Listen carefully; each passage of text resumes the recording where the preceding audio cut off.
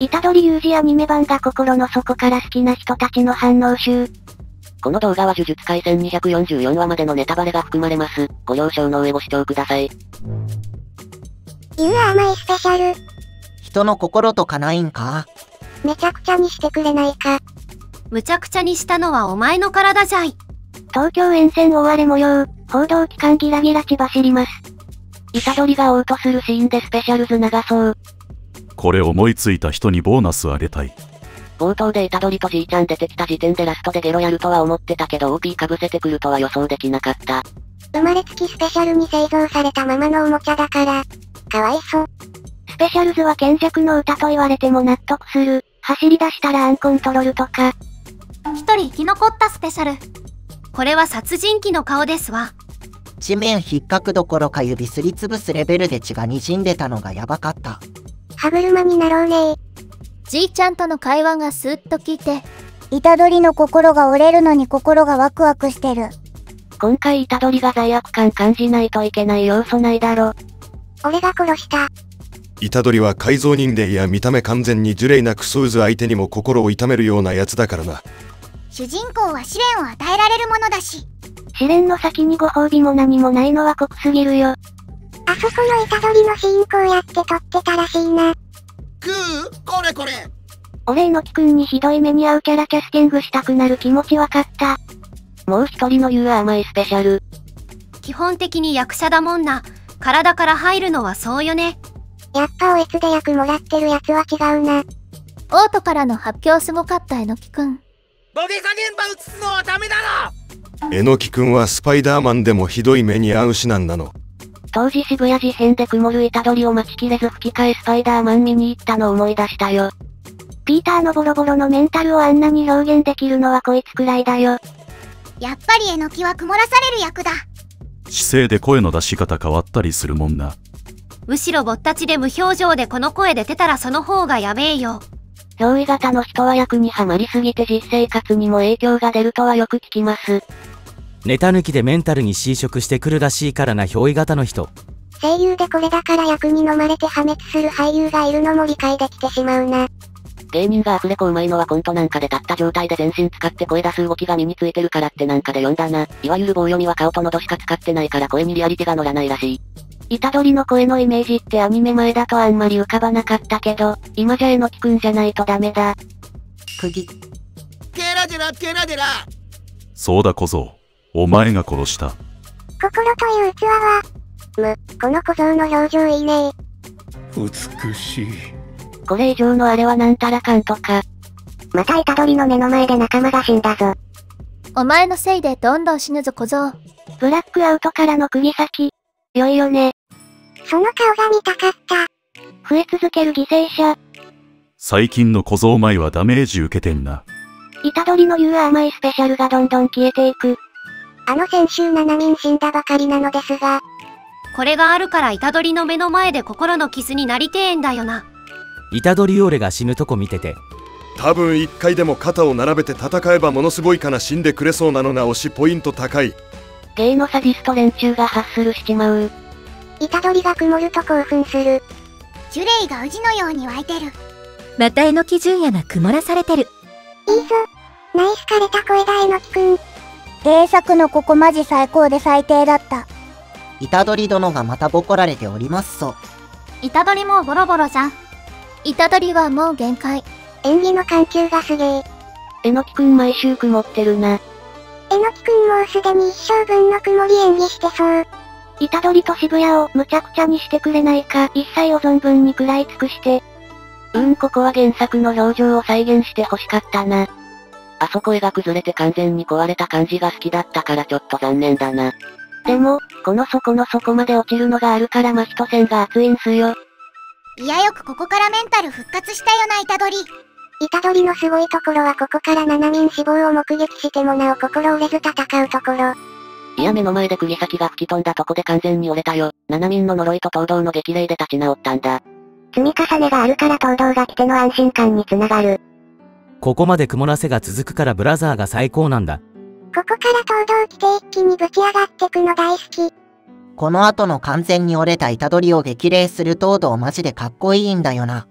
この頃はちゃんと主人公感あるな。俺は作中で一番好き。こいつさすがにひどい目に遭いすぎじゃない？本当はもっと早く死ぬべきだったのに生きてる時点でもけもんだろ。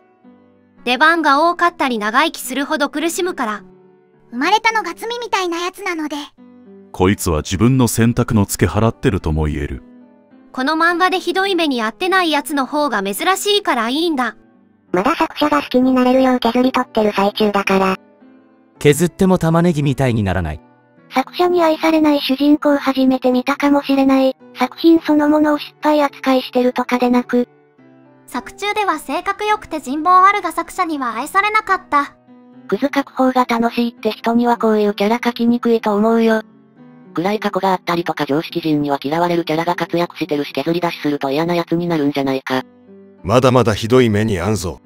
最後までやりきって満足して死ねるならまだいい方まである。自分の死に用は決まってるからいいんじゃね。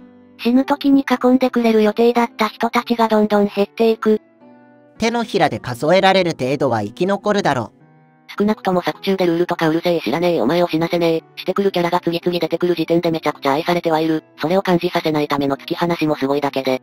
一貫して周りがやらかしてるだけで虎杖は一貫して前世の塊なのは良い点。ちゃんといいやつで魅力的な存在として欠けてて偉い。その上でぐちゃぐちゃにする。誰に言い訳してんだよってセリフがすごい好きなんだよね。渋谷事変で呪いとなって自分に突き刺さるから。上げて落とすためとはいえま人ボコボコにするシーン爽快感すごいわ。せめて役に立ってから死んでほしい。虎杖がいたおかげで助かったシーンがマジすこねえ。いたおかげで事態が悪化した話はポンポン出てくる。虎杖のおかげで助かった人とかいたかな。さすがにそれはそこそこいる。渋谷で一気にキルスコア稼いだからもう取り戻せないけど。虎杖は性格が良いから性格悪い奴への理解が浅い。かなり上々借用できるんだけど、警察のシーンでいいぜ。借金は本当にうかつ。縛りの判定がガバメなのもひどい。縛りについては五条が教えないのが悪い。昔の同級生の話コント好き。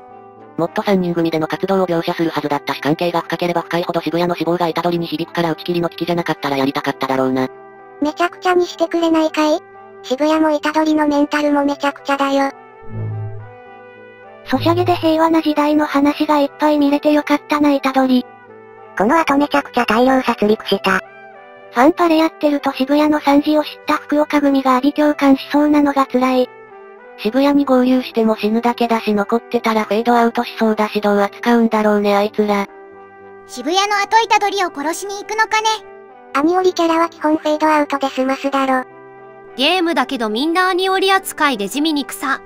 なんで主人公に術式持たせなかったんだろう。アニメ見たけど結局最初に出てきた虎杖処刑ってやっぱ正しくない？処刑はともかく術師にする必要性は感じられない。そのまま座敷廊下なんかで閉じ込めるべきとは思う。まあ強いんだろうけどそこまで強いってわけじゃないから、術師やらずに閉じ込めてれば良いと思う。青春とか言ってる場合じゃないぞ。虎杖かわいそうってより五条や伏黒のやらかしを背負わされてる感じがする。よく言われてるけど五条悟によって虎杖の危険性を対策してたんだから五条悟が封印された時点で監禁はするべきだった。悪人の犯罪を防ぐために善人を処刑するとか、とりあえず正しいとは言いたくねえな。スクナの指食った時点で核爆弾みたいなもんだしな。廃棄物専用ゴミ箱を人として運用すんなはまあそうね。この漫画は善人の善意は基本的に報われないしかえって状況を悪化させてるだけだから、善人って何のアドバンテージにもならないんだよね。少年院で制御不能経験したのに休日その辺の街ぶらつけるのある意味すごい度胸だと思う。さっさと死んでればよかったのに。現状マジで虎杖がかわいそうって点を除けば殺すのが正解だったのどうかと思う。完全体少なでも殺してくれないとマイナスが大きすぎる。虎杖はかわいそうではあるけど死んだ方がいいやつなのは揺るがないと思う。まあ今は死んでも何の意味もないんだけどな戦わなきゃただの人殺しだ。でなんとか立ち上がったけど、渋谷の皆殺しの時点で自殺してた方が被害少なかったの呪われすぎだろこいつ。あとは頼みます。津田健が丁寧に演じるから余計に重い。虎杖死んだところで生産元が元気だから似たようなの作られる可能性はあるんだよな。上層部はその生産元と繋がってる上に少年院以降はすっくんの引っ越し準備のために何度死のうと蘇生されるだろうし。言うて虎杖はちゃんと女の体に移って妊娠して制作してるし下等の体を捨ててまで再びそれやるメリットなさそうだからな。習慣だと戦闘投げえよってかなり言われていた渋谷事変も、アニメにすると削るどころかだいぶ盛らないと尺が持たないのは本当にメディアの違いだな。ここから立ち直らせてくれた東堂も再起不能になるしママがあれなこと発覚するし。でも兄ちゃんができた。こっからさらに色々あってどけ、俺はお兄ちゃんだぞ、でしょ？アニメ新規の脳みそ壊れない？割と真面目に一人きりじゃなくてお兄ちゃんいてよかったね。虎杖からしたらうわー何こいつだけど。いいやつだってのは理解して助けてくれたことに感謝してお礼は言えるから、まあ虎杖視点だとやっぱり未だに突然兄を名乗り出した不審者なんだが、虎杖の前ではお首にも出さなかったが苦しむ虎杖見てめちゃくちゃ後悔して苦しみながら一緒に呪霊狩りして過ごしてたんだよなお兄ちゃん。お兄ちゃんも苦しんで苦悩もあるのはもちろん分かった上で言うけど、それはそれとして友人の寝顔とか堪能してそうで嫌なんだよなお兄ちゃん。最後は大勢の人に見取られて死ぬんだろうなって。渋谷事変は本当面白いね。やってよかった渋谷事変。振り返ってみると虎杖は世界にすげえいじめられてるな。原作はなんであんな感じになっちゃったんだろうか。マシュマロにてリクエストありがとうございます。